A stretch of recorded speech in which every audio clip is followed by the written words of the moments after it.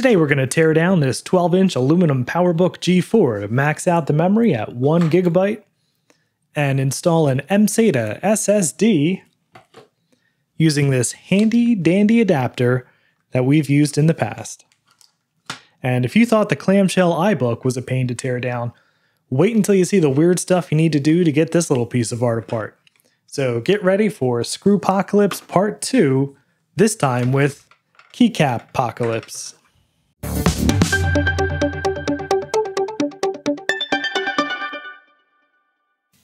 So this is my 12-inch aluminum PowerBook G4 1.5 gigahertz, and I love this little computer. Uh, and this computer is actually very special, not only because it was the very last and greatest of the 12-inch PowerBooks, but it was also the last PowerPC PowerBook ever sold. It was discontinued in May 2006, meaning this 12 inch PowerBook was sold brand new even after the Intel transition, uh, the first machines of which came out in January of 2006. So this was on sale for several months alongside Intel Macs because this was so popular in this form factor. Uh, aside from being very powerful in a very small package, it was really great to type on. Uh, had that same full size keyboard that the other PowerBooks and then the MacBook Pros had. So people like journalists absolutely loved this thing.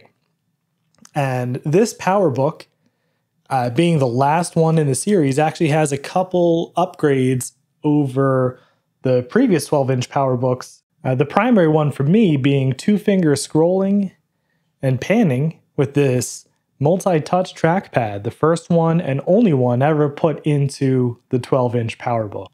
So I have a confession. I used to not understand the appeal of this. Uh, I thought that this old school 4x3 aspect ratio was completely silly compared to the widescreen laptops that Apple had been really leading the way with for years. In fact, when these were still new in the store, I had a titanium PowerBook with a widescreen as my daily driver. And using that computer really felt like the future compared to all of the 4x3 aspect ratio Windows laptops that were out there.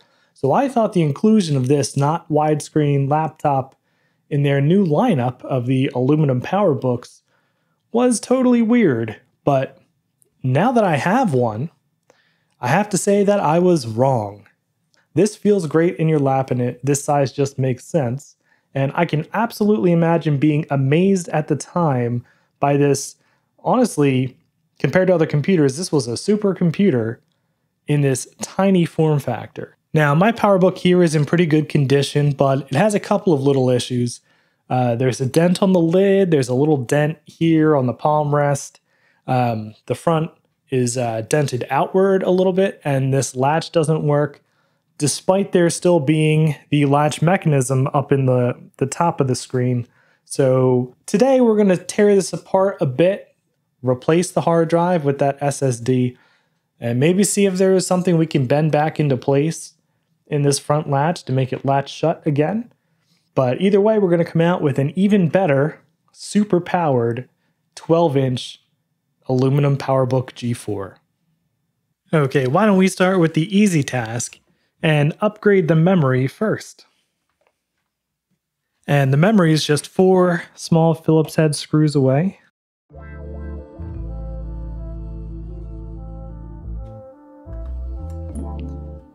And then let's see what we have in here. Yeah, this is just a 512 megabyte PC 2700 from Samsung, which we will swap out with our 1 gigabyte Komputerbay module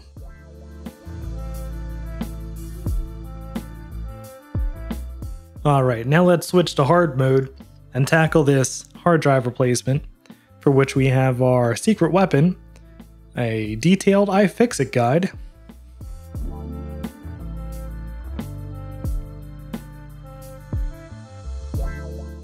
Okay, now the most hair-raising part of this disassembly is that we actually have to pop off four keys to get to the two screws that hold the keyboard down to the chassis. So we have to pop off F1, F2, and then F11, and F12. So here goes nothing.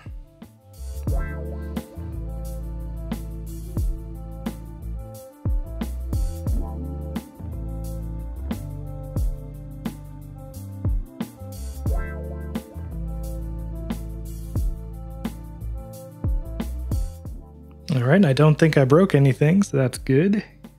And then there's little stickers covering the screws here. Then we have to peel off.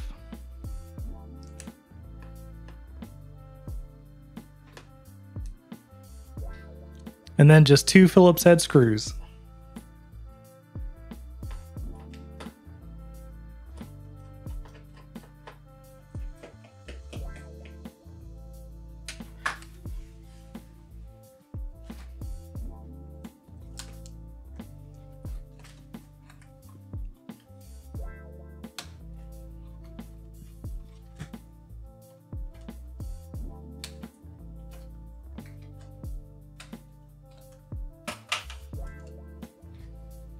Now we've just got a whole host of screws to remove to get this upper case off.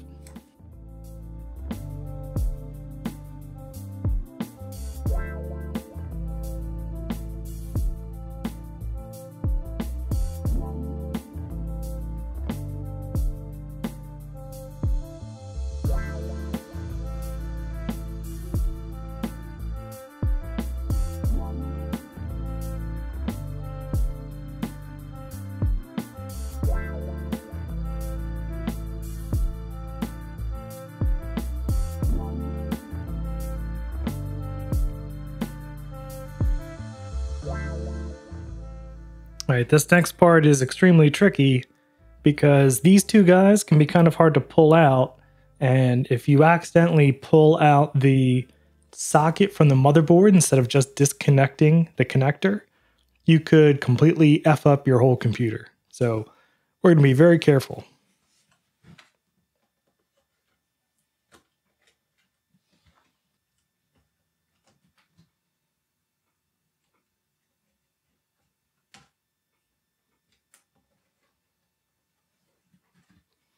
All right, we're good.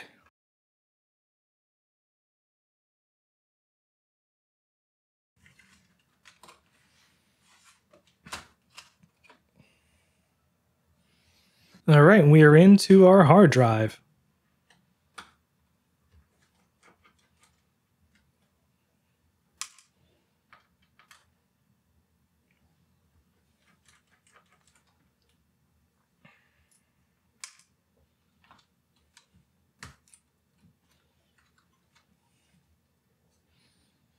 All right, let's put together our enclosure and swap it into the bracket for the PowerBooks hard drive.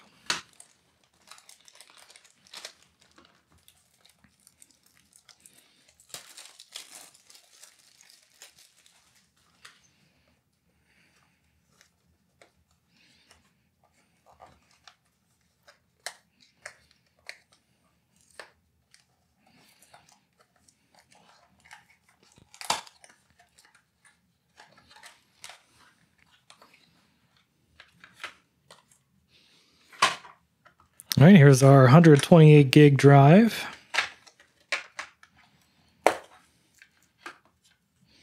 Thank you for choosing Gen Geno, Geno, Genio.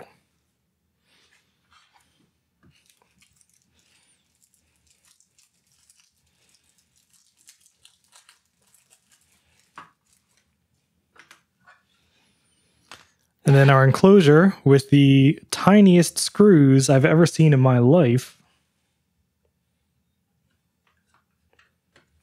Oh, the screws are inside. There we go. The tiniest screws I've ever seen in my life. And a tiny little screwdriver to put them in with.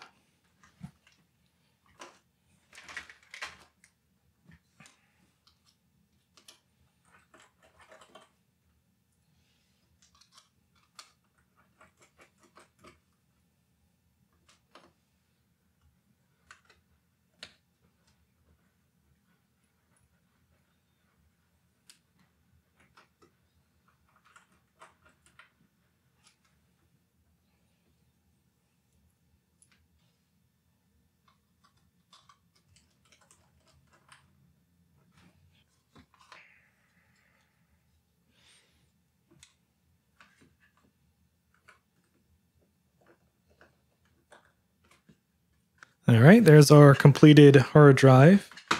And let's swap it over to this bracket.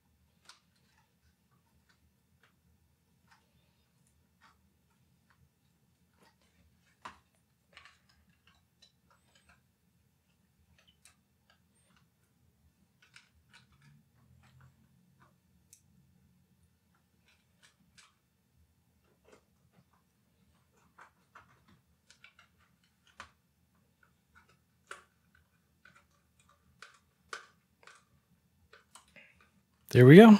Just like factory. Okay, let's get this thing back together. And while we're in here, I'm going to see if there is something I can't do to this mechanism. I don't see anything obvious to bend back, though. I think it's missing a piece in there.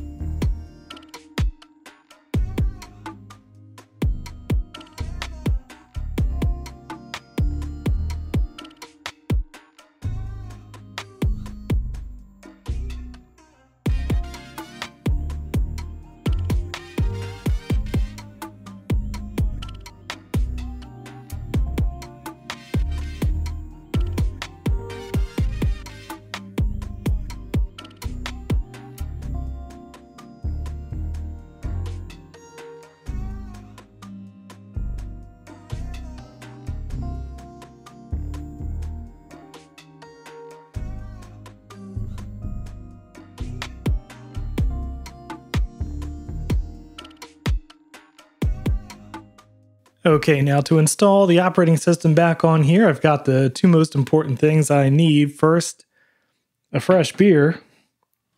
And second, this OWC enclosure for Firewire and USB. And I've got a little SSD in here. And on here, I have multiple partitions, each with an installer for different versions of Mac OS and OS 10. So let's plug this in turn it on and cross our fingers.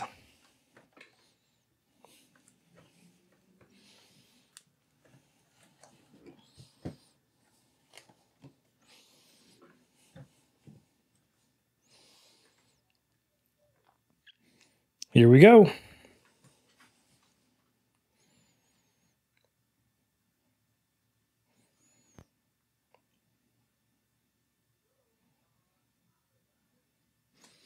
So far, so good. There we have all of our installers for OS 10.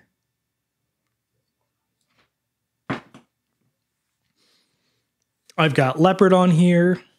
I've got the Impossible Cat, which is the Snow Leopard beta, and I have Tiger Live. And we'll just let it finish searching. Okay. We'll select Leopard. And let's boot. All right, we're booted into the Leopard installer. And I'm really crossing my fingers that it's going to see that hard drive. So let's go into disk utility. Come on, hard drive. There we go. 119.2 gig CHN MSATA M. Let's partition this guy. Um, I like to call this Alf. Because it's small, but powerful. Partition. All right. Agree. And let's install to ALF. Woohoo! All right, looks like we've done it. We have upgraded our 12 inch PowerBook to the maximum 1.25 gigs of RAM. And our SSD seems to be doing just fine here in Leopard. Our CHN M-SATA M3128. So, uh, thank you very much for watching. Uh, if you enjoyed this video, I'd appreciate a thumbs up. And if you'd like to see more videos like this, please subscribe, and I will see you in the next one. Cheers.